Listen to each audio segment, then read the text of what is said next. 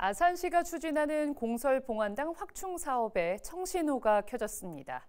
생활 환경이 열악해지고 청정 이미지 실추를 우려해 확충 사업을 반대해오던 송악면 주민들과 1년여간의 대화와 소통 끝에 협조를 이끌어냈습니다.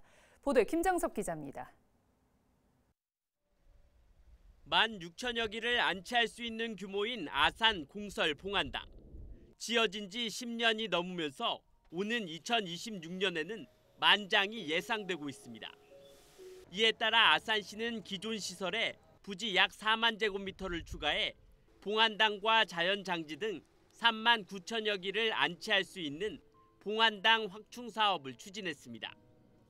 하지만 교통 혼잡과 생활 쓰레기 증가 등 송악면 이미지 실추를 우려하는 지역 주민들은 지난해 7월 증설 반대위원회를 구성하며 반대 목소리를 높였습니다. 소학년의 33개 리에서 1762명이 반대 서명을 접수했습니다. 이 소학년의 청정한 이미지를 훼손하는 것은 절대 소학년이 바라는 바가 아니다. 이해 씨는 주민 설명회와 면담을 통해 주민 의견을 적극 수렴했고 지난 1년여간 설득 끝에 반대 추진위원회와 공설 봉안당 조성협약을 이끌어냈습니다. 협약식에서 박경기 아산시장은 꼭 필요한 시설인 봉황당 확충에 협조한 송악 주민들에게 감사 인사를 전하며 장사시설 주변 지역 주민 지원과 함께 기피 시설이 아닌 친화적인 공간이 될 수 있도록 노력하겠다고 밝혔습니다.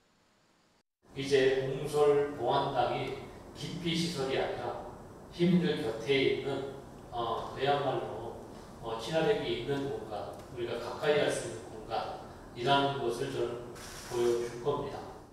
증설에 협조하기로 한 반대 추진위원회는 주민과의 약속이 제대로 이행될 수 있도록 시에 당부했습니다. 또 앞으로 시에서 약속을 잘 하셨으니까 또 앞으로 기대를 할 거고요. 이번 계기를 인해서 수학면이 더욱더 발전할 거라고 생각을 하면서 주민들의 반대 목소리를 충분한 대화와 설득을 통해 협조로 바꾼 아산시.